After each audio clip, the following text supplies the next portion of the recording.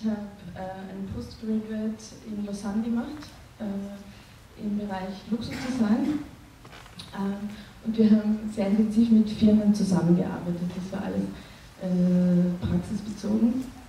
Äh, das erste Projekt war, war mit ähm, einer französischen Porzellanmanufaktur, äh, Bernardon. Und die Aufgabe war, wir sollten äh, neues Dekor für ihre vorhandene Kollektion ähm, entwickeln.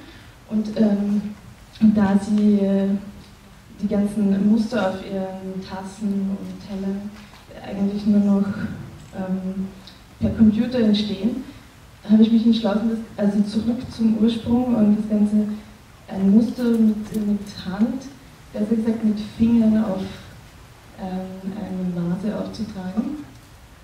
Im nächsten Bild sieht man den Prozess.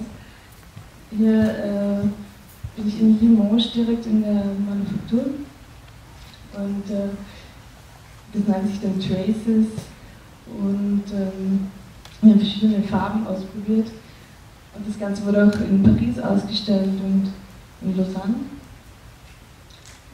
Nächstes Projekt ist weitaus freier. Wir sollten die äh, Luxury Management Studenten aus Lyon kennenlernen. Und die Aufgabe war, also eine, äh, für eine Marke, also für Ferrari, äh, Haarpflegeprodukte zu entwickeln. Ja, das war jetzt per Zufall. Wir mussten Zettel ziehen. Und dann äh, haben wir uns gedacht, das ist ganz logisch. Hier sieht man schon das Pferd. ähm, wir machen ganz einfach ähm, Haarpflegeprodukte. Ähm,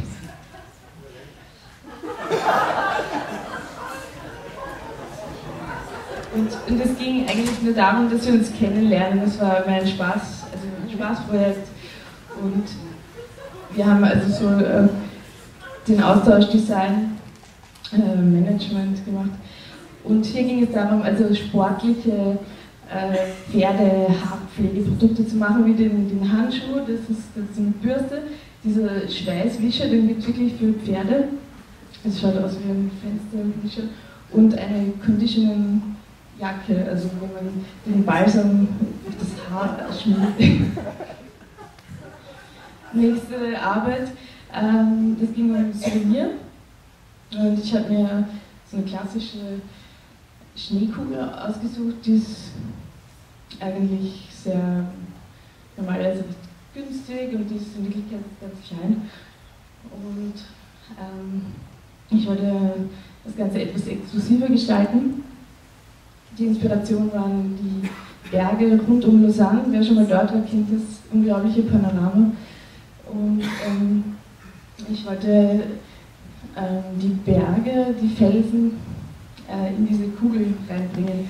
Das sind äh, Aluminium, also äh, das wurde aus Aluminiumblöcken rausgeschnitten, also das habe ich gemacht mit einer Metallsäge und ein Teil dauerte fast einen Tag lang. Also da wirklich das Aluminium zuzuschneiden, dann ging es darum, die, die, die Glaskugel zu machen und das wurde im Mund geblasen und ähm, ich habe äh, jetzt nicht diese klassische runde Form, sondern verschiedene, also organische Formen gewählt, das war auch möglich und hier sieht man den See, das ist die Aussicht von Lausanne.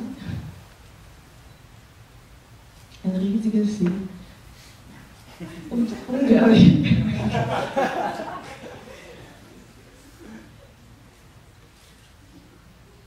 da wollte ich eben, das, das hier sieht man den größten Vergleich, das ist die, diese Kugel hier. Schon sehr massiv drum.